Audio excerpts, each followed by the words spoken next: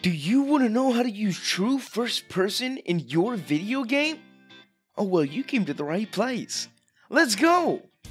By default, locate a third person character by going to third person, blueprints, and then you'll see BP underscore third person character. Select the camera boom and delete it. After deleting the camera boom, drag and drop follow camera into mesh. Then you want to add the parent socket as the mesh head.